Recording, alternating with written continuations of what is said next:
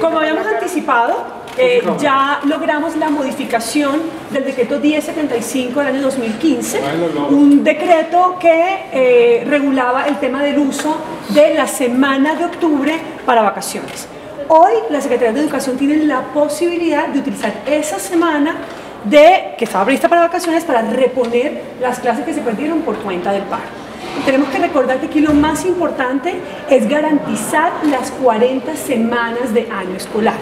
Estas 40 semanas eh, fueron afectadas por el paro, fueron afectadas 5 semanas eh, del, año lectivo y por lo tanto esas 5 semanas se deben reponer. Con este decreto, por supuesto, tenemos la oportunidad de eh, reponer una de esas semanas, pero adicionalmente abrimos la oportunidad para que se usen máximo 5 sábados o festivos máximo 5 sábados o, festivos. ¿Esto qué permite? Permite que todas las secretarías de educación y en todos los de Colombia se pueda terminar entre el 7 y el 15 de diciembre. Entre el 7 y el 15 de diciembre. Quiero reiterar que en todo este proceso lo que queremos y hemos querido garantizar es que se reponga un día perdido con un día completo repuesto y que incluso está planteado a nivel de semanas y que la posibilidad de completar la jornada eh, escolar anual se dé de la mejor manera.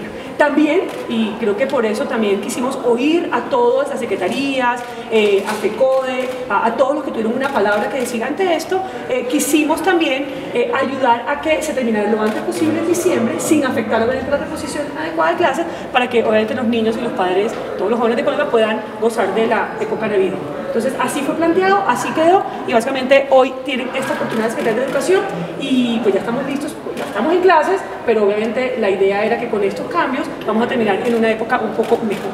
Ministra, en el caso, por ejemplo, aquellos que ya están terminando de actividad que siempre en la universidad, ¿no hay problema?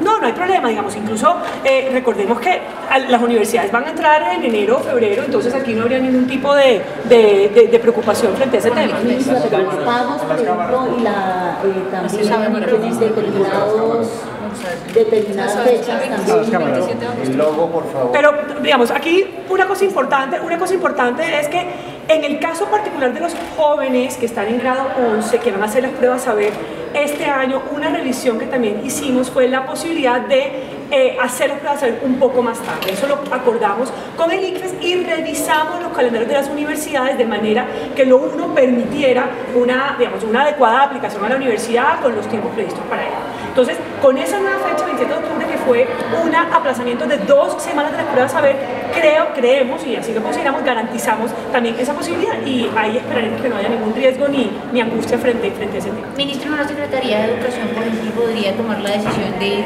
festivos, sábados y no ir la semana de receso?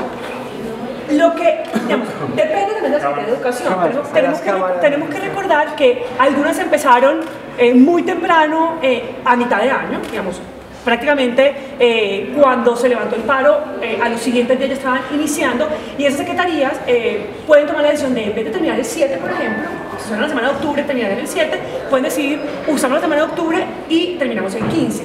Eso, algunas secretarías tienen esa flexibilidad, puesto que arrancaron muy temprano, algunas no van a tener esa flexibilidad.